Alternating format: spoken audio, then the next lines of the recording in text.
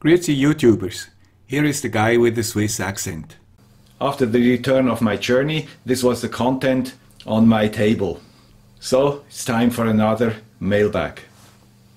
But first, I have to say thank you to all my subscribers and viewers who helped the channel. In the last video, two days ago, I asked you to like or to write comments and you did it. I got an overwhelming reaction. Many, many of my viewers sent comments and the content was very, very encouraging. Thank you very much. These comments somehow are the diesel of our YouTubers. This is the fuel which helps us to produce the next video. And I would be glad if we can continue this way, that you like or you interact. That is really awesome. But now let's start with this mailbag. So let's start with a big one. It came with DHL, which is very uncommon because it's quite expensive compared to China Express.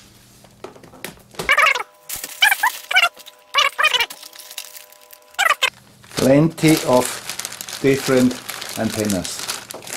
These are all antennas the LoRa range. For example, this one is a very special one. You can stick it to a, way, to a window or something. So you should see a few of them in one of the next videos about LoRa. And a different type of antenna. I'm really interested how they will work. The small ones and the bigger ones. Next one.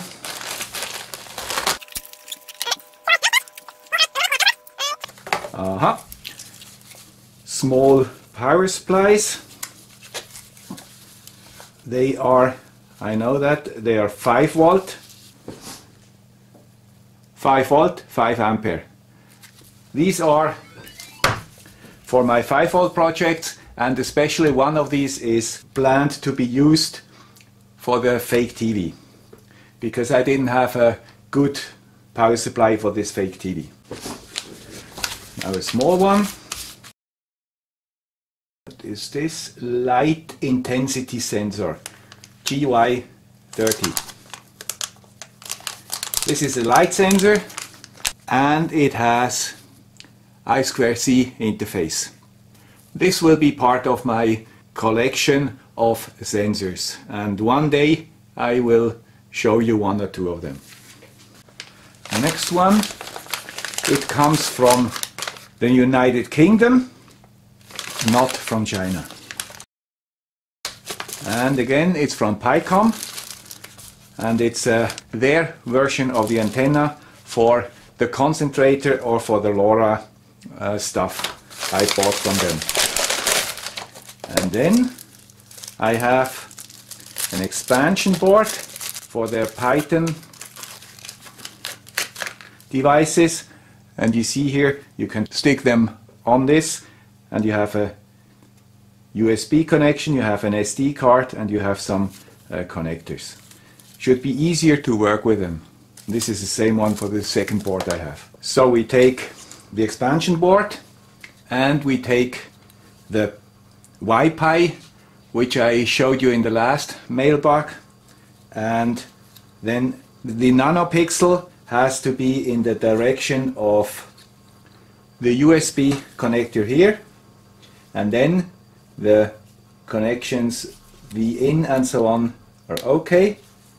And now everything is ready. Let's connect it to the USB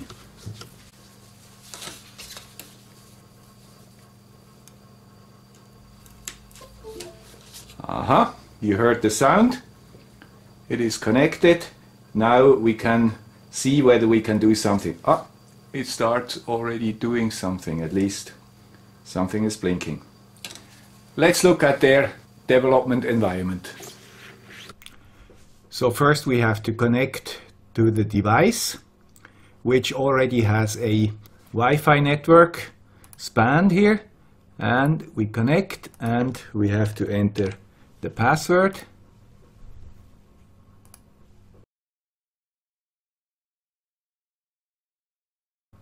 Now we are connected. Now we have to open up their development environment a Pymakr go to settings preferences to Pycom device. Enter here.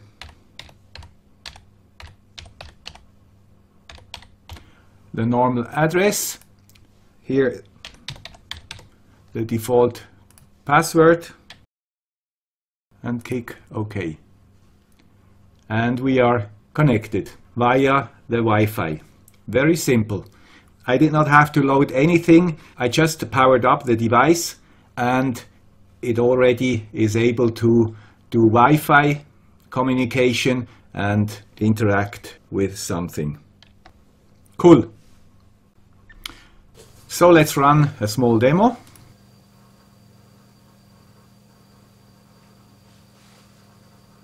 And the LED lights up in green color. So obviously something works here. And now in white. Ah, it's not white, it's blue because I forgot something. So I have also to put in FF here.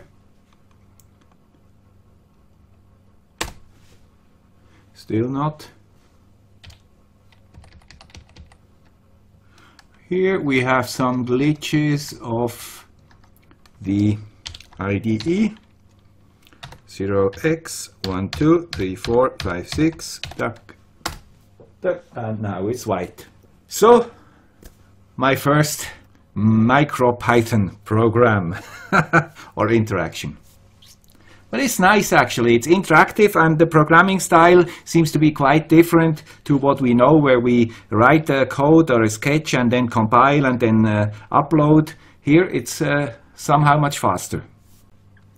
Now I want to, to write a small program, but uh, because I'm not able to do it on my own, I just copy it from the web page of PyCom and I paste it here.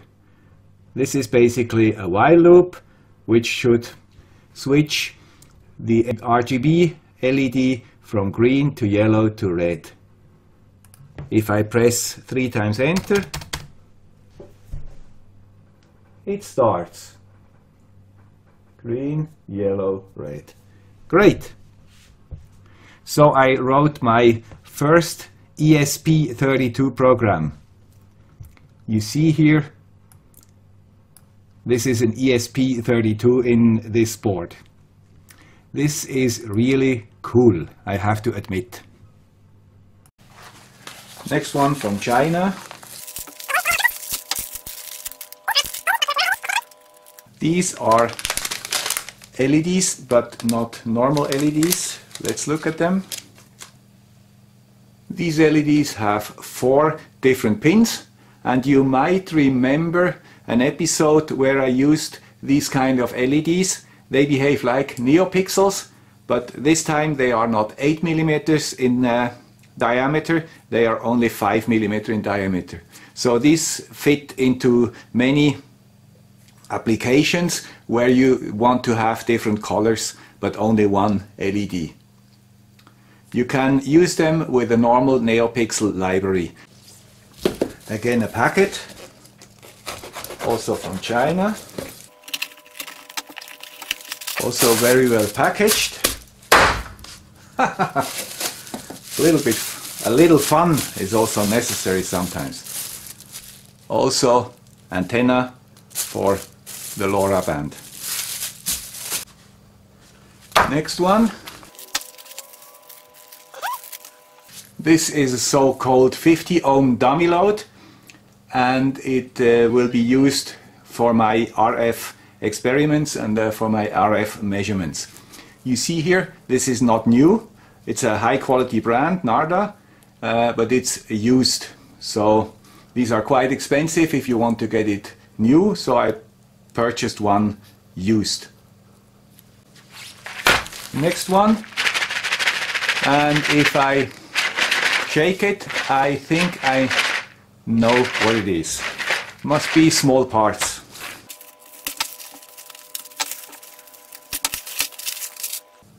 Guess what? Assortments. And a second one. Let's look inside.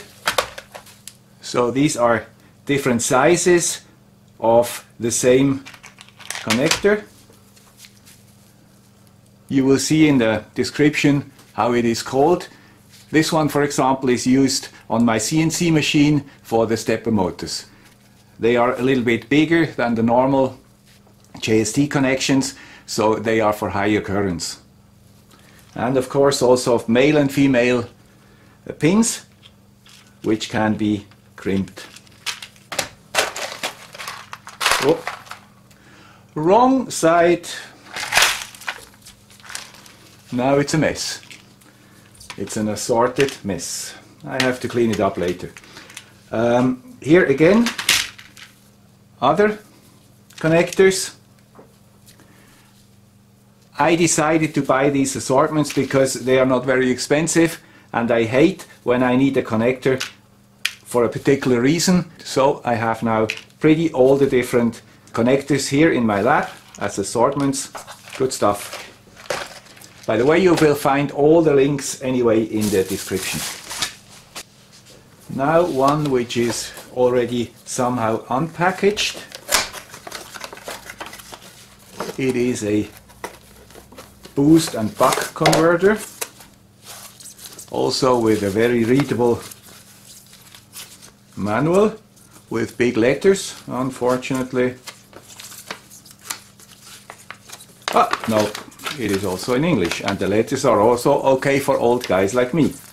So this is a buck and boost converter and it can work from 0 to uh, 32 volt, 0 to 5 ampere. Let's have a look at it. It's not a big board. It comes in two parts. One the display and the interface and one the real thing with cooling and with a connection in between. And you see here connectors. Not the one I purchased, but I think I have these already somewhere in my assortments. Now something interesting. Here I have two connectors. I have two cables. But only one connector here. So, again, read the fucking manual. Otherwise we will not get it running. So I read now the manual and solution is here. You have to open this with a small prying tool here and then you see that there is a second connector here.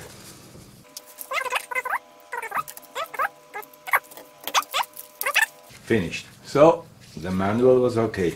So let's try first the boost, boost converter. We set, we have 6 volt input current, uh, input voltage and we set the output voltage to uh, 32 volt. So 32 volt, 32 volt. So the boost from low to high goes from 6 volt to 32 volt. Now I do the reverse and feed 35 volt. 35 volt is the maximum of my power supply. The device here could even take 40 volt, but then we see if we can do a buck conversion. Buck means down. Now I have 36.3 volt input voltage and I go down to 5 volt. So it's 5 volt here, it shows 5 volt and it has very close to 5 volt. If we go to 3.3 volt, 3.3 volt, and here is 3.32 which is also okay. So also the buck part, the down part works fine. So thumbs up for this device. I think this would be a very good a bench power supply for somebody who starts with a hobby. You do not need more than one of these. Next one, you see I'm in a good mood because I got a lot of compliments, a lot of comments, a lot of likes. This is really very nice day today. And of course, also lots of packages. You know what it is? It fits into these small booklets. It's empty, so I can put in my SMD stuff I purchased and I had no solution last time. Now I got many different uh, proposals from my viewers and uh, I decided to try this one first because it fits to the rest of my SMD assortments. And uh, you will see maybe it's in the mail or it's in the next mail bag. I will also get a new assortment I found in the meantime of SMD components. And the last one for today, electronics parts, $6. Very well packaged, not a big thing. Ah, uh -huh. If we look very close, we see what it is. You guess it? It is a radar sensor. Now these radar sensors have a history. I didn't even know that they exist. And then uh, viewers told me that they are much better than my PIR sensors I used in my uh, past projects. So, because I listened to my viewers, I ordered some of them uh, different ones. This is the first which, which arrives. I'm really interested in uh, testing this because I read also that these can, even if they say they work at 10 gigahertz, which is way above all I have in my lab here, I read that they work also in the 2.4 gigahertz band and not in the 10 gigahertz band. And 2.4 gigahertz is wireless LAN and you don't want to have a PIR sensor in the same area of your sensitive ESP82s or uh, iPhones and stuff like that. So I, I will look at least, I cannot measure whether they work on 10 gigahertz, but at least I can measure whether they work on 2.4 gigahertz because my spectrum analyzer has a range of only 3 gigahertz. So stay tuned. This was all for today. I hope this video was useful or at least interesting for you. Bye!